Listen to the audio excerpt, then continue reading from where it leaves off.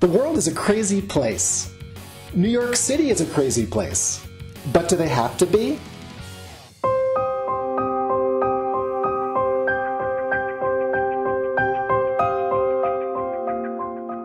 Is it possible to find slow in the middle of the fast? To live with less in the land of more?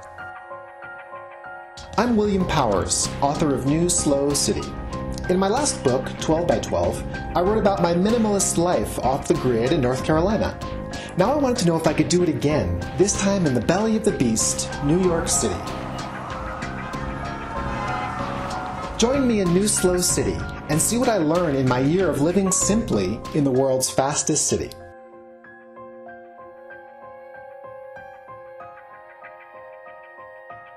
What would it be like to work 24 7, 24 hours a week, 7 months a year?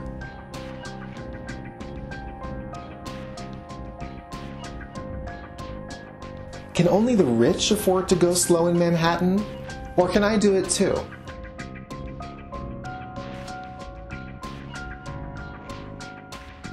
Would I be able to balance my constant doing with the joy of simply being?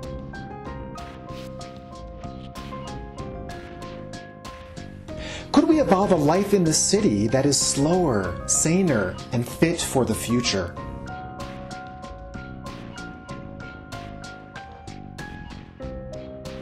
New Slow City, now available wherever books and ebooks are sold.